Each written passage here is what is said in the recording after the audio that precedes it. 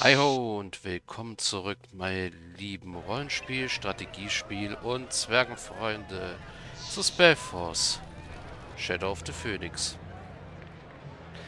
Ja, wir sind in der letzten Aufnahmesession in Empyria angekommen und scheinbar mag man uns hier nicht sonderlich. Also wir werden von der Palastwache aus allen Gebieten ausgeschlossen. Äh, ja, und müssen hier um den Triadenhain erreichen, der ja gar nicht schwach äh, beschützt ist. Gut. Mal gucken. Können wir irgendwie an der Stadtwache vorbeikommen? Der Sand war heiß. Es floss Blut und Schweiß. Oh, hoppla. Ein neues Gesicht. Ihr habt nicht zufällig etwas Brandwein für einen ehemaligen Champion der Arena? Bei euren Atem wundert es mich nicht, dass euch keiner besiegen konnte. Ach was, das mit dem Brandwein fing erst an, nachdem sie mich rausgeworfen hatten. Rausgeworfen! Den großen Uzakan! Dabei bin ich unbesiegt. Und ich habe die Hälfte ihrer Kämpfer selbst ausgebildet. Und nun das? Eine Schande ist das. Ihr wart Ausbilder? Könnt ihr auch mir etwas beibringen? Mhm. Für eine gute Lehrstunde brauchen wir einen guten Kampfplatz. Und da gibt es hier nur die Arena. Dann treffen wir uns dort? Das ist nicht so einfach. Die beiden Wachen am Tor zum Zirkusbereich, Tuck und Carlet, die lassen mich dann nie wieder rein. Ich hatte das Pech, die beiden betrunken auf der Wache zu erwischen. Und ich, Narr, habe es auch noch gemeldet. Seitdem hassen sie mich. sie wissen, dass sie mich nicht besiegen können. Aber sie machen mir das Leben schwer, wo sie können. Sie sind an meinem Rauswurf aus dem Zirkus schuld. Das Pack. Okay. Damit haben wir jetzt mal die Quest aktualisiert. Äh oh, einmal Gladiatorentraining. Haben wir auch hier was Neues? Nein, wir wissen immer noch nicht, wie wir durch das Osttor kommen. Okay. Was gibt es? Erzählt mir etwas über den Zirkus. Na, gibt es nicht viel zu berichten, Kamerad. Der Kaiser freut sich nicht am Schauspiel und Kampf. Also festen wir Zirkusleute ein armes Dasein und hoffen, dass der nächste Kaiser uns besser gesonnen ist. Der Herr des Zirkus ist Serbio. Er betreut auch die Tiere, an denen sich Kaiserin Kaira so oft erfreut hat. Aber seit Kaira tot ist, besucht uns niemand mehr aus dem Palast. Höchstens noch die Wachsoldaten, und die wollen nur Blut sehen. Aber ich bin dennoch stolz, dabei zu sein. Zumindest war ich es, bis sie mich rausgeworfen haben. Ich und Serbius Tochter, so eine dreckige Unterstellung. Okay. Gut, das heißt, hier könnten wir nur mit Gewalt eindringen. Wir können es aber erstmal versuchen. Also ja, mit Hilfe von entweder Flink. Wahrscheinlich. Das wäre nicht das Ding über ihm. In den Tempelviertel einzudringen. Sucht jemand, der die Wache am Tempeltor ablenken kann. Ja.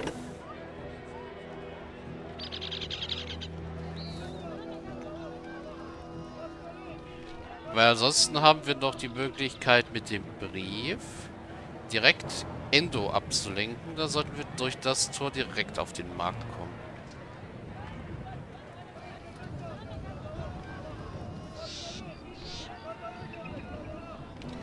Und sehr interessante Hintergrundmusik.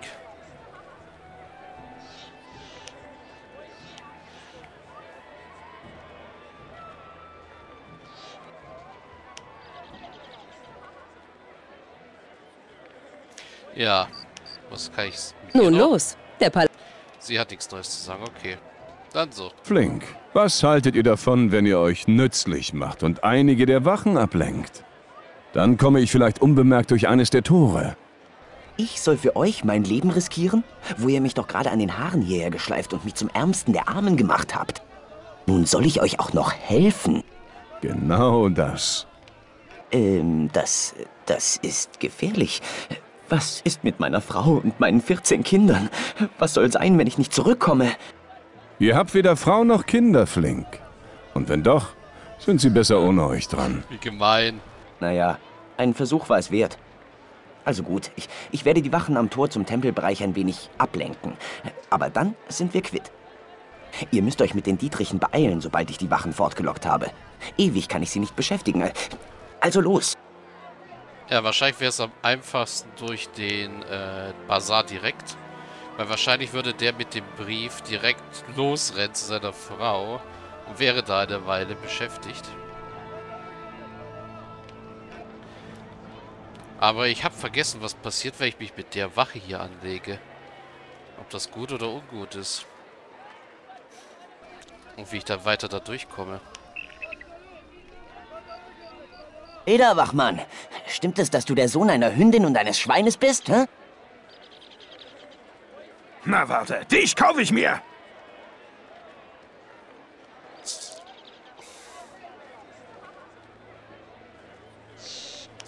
So, warten wir, bis wir weit genug weg sind. Ja, Dietrich verwenden. Das Tor öffnet sich. Gut, was sagt die Quest? Ja. Der Puppenspieler. Wo ist der Kerl hin? Verfluchter Hund! Ja, wir sind schon mal durch. Okay, der Puppenspieler ist niemand Besonderes. Äh, oh, ein Botschafter des Roten Imperiums hier. Hm. Also, was passiert, wenn ich dich angreife? Ist das scheiße oder nicht?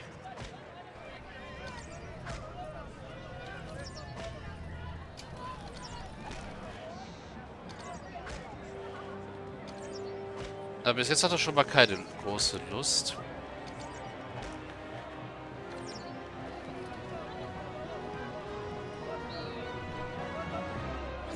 Zurück mit euch!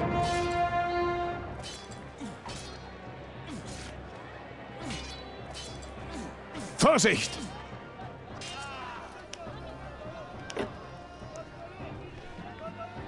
Okay.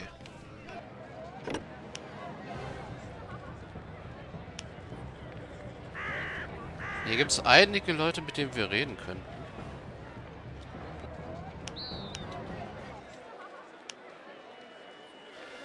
Erstmal mit der Wache reden.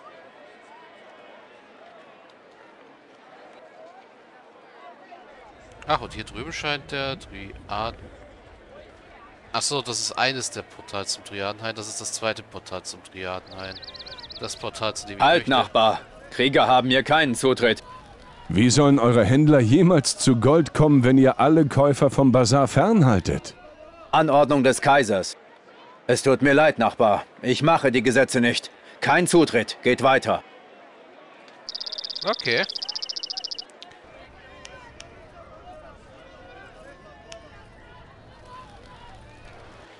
Ist die Frage, wenn wir nachher an dem vorbeilaufen, wieder zurück, falls wir das so machen, ähm, ob er dann aggro wird. Da reden wir erstmal mit dem, der so aussieht, als ob er der Obermacker hier am Tempel wäre. Mein Blut brennt! Keine Macht! Der Tempel! Was habt ihr? Dunkelheit kann nicht. Facebook wurde aktualisiert.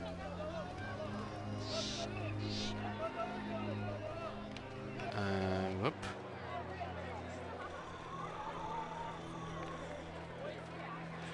Ja, Lyrios Visionen. Der Priester Lyrios scheint von Schmerzen und Wahnvorstellungen geplagt zu sein. Ihr solltet ihm helfen. Lyrio ist nicht ansprechbar. Im Tempelbezirk wird es sicher jemanden geben, der weiß, was ihn quält. Mhm. Vielleicht der Blinde?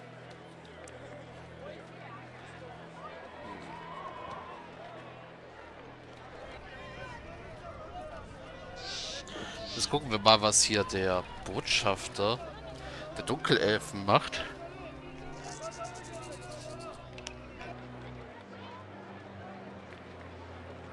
Seid ihr gekommen, um zu Nor und Zarach zu beten? Nein, so sieht ihr nicht aus, Menschlein. Was treibt ihr hier in Empyria, Dunkelelf? Ich bin Dorkan, Botschafter des glorreichen Volkes der Norkane in diesem dreckigen Loch, welches ihr eine Stadt nennt. Und der Kaiser hat mich in seiner Gnade hier ins Tempelviertel verbannt. Wahrscheinlich hält er sich seinen feisten Bauch, wenn er daran denkt, wie ich zwischen all diesen Lichtbetern schmore. Hm, ihr seid sicher ein hervorragender Diplomat. Spottet nicht, Lichtkriecher. Der Tag wird kommen, an dem sich die Norkane dieses Land zurückholen, so wie es vorherbestimmt war. Was ist es nun? Okay, der hat uns nichts mehr sonst zu sagen. Also der ist nur schlecht gelaunt. Und ja, der Blinde, der hat jetzt ein Ausrufezeichen statt ein Fragezeichen. Also würde er etwas zu ihm hier beitragen können. Seid willkommen. Habt ihr eine Frage zu den Tempeln der Wächter? Einer der Priester, Lyrio. Er spricht wie im Wahn. Was ist mit ihm? Ja, der arme Lyrio wird von grauenvollen Visionen geplagt. Er braucht Traumwein, um seine Sinne zu beruhigen. Traumwein? Das ist Rotwein mit etwas Traumstaub darin. Es würde Lyrios Geist klären, aber Traumstaub ist verboten und schwer zu bekommen. Da ihr mich darauf ansprecht, ich bitte euch, helft einem blinden Mann und bringt mir etwas Traumstaub und Wein. Lyrio ist ein Freund und es schmerzt mich, ihn leiden zu sehen. Den Wein könnt ihr bei Borus bekommen, dem Weinhändler. Der Traumstaub wird unter der Hand verkauft, meist von Apothekern. Achtet auf Männer in grünen Roben. Ihr findet sie vor allem in dem schmutzigen Armenviertel vor der Stadt. Bringt mir etwas Traumstaub und eine Flasche Wein. Dann können wir Lyrio helfen. Okay. Oh, die Wache hier respawnt. Ja gut, ein zweites Mal möchte ich sie jetzt nicht unbedingt töten.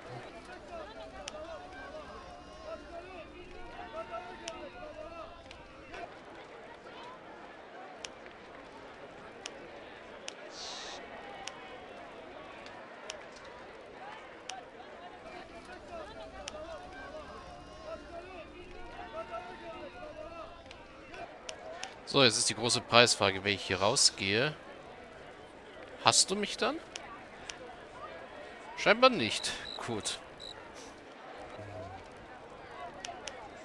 Komm, geben wir mal Endor den Brief und knacken auch das Tor hier.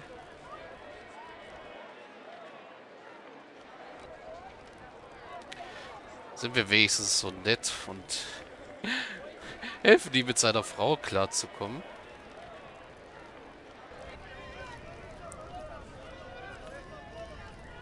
Ist übrigens schön vom Bazar aus, müsste er mich gut sehen können. So als kleinen Punkt. Kein Durchgang. Ich habe eine Nachricht von eurer Frau. Es geht da wohl um eine Fassade. Oje, oje. Sie wird mich umbringen. Aber ich kann nicht nach Hause. Unmöglich. Wegen eurer Wache? Ja. Nein. Eher weil ich ihre Hochzeitsfibel verloren habe. Ich sollte sie zum Goldschmied bringen. Ich habe sie meinem Kameraden gezeigt und da ist sie mir entglitten. Sie rollte hier den Abhang hinunter zum See. Noch bevor ich etwas machen konnte, hatte sich einer der Kriecher das Glitzerding geschnappt und ist damit in seine Höhle geflüchtet. Diese Fibel ist euch also hier rechts den Abhang hinuntergefallen. Ja, ich hätte sie ja schon selbst geholt. Aber die Kriecher da drin fressen einen mit Haut und Haaren. Aber ohne die Fibel bringt mich meine Frau um. Ich bin verloren, ich kann nie wieder heimkehren. Das werden wir noch sehen. Okay, wir sollen ihm die Fibel besorgen. Dafür ist jetzt der Schlammwühler aufgetaucht. Hm.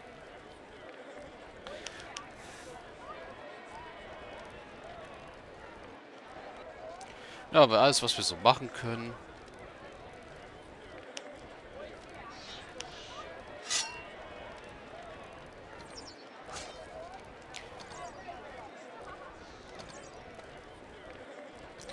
Komm, wie kannst du so ein großes, fettes Vieh verfehlen?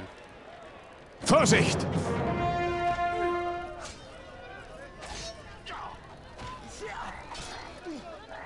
Achtung!